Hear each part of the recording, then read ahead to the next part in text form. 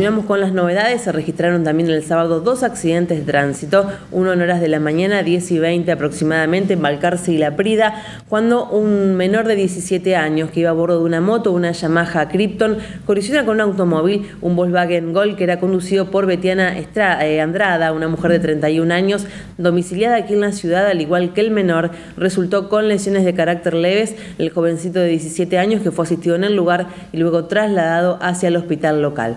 También se registró el sábado un accidente, pero en horas de la noche, 21 a 15 aproximadamente, en Oroño al 700, cuando un masculino que iba a bordo de una camioneta, una Chevrolet DC-10, que fue identificado como Brian Brasca, de 19 años, según pudo manifestar él, aparentemente para evitar la colisión con otro vehículo. Disminuye la marcha de la camioneta y detrás suyo la caja es embestida por una motociclista, iba a bordo de una Yamaha, una moto 110. La mujer de 26 años fue identificada como Rocío Petinari, quien presentaba lesiones leves al colisionar contra la camioneta.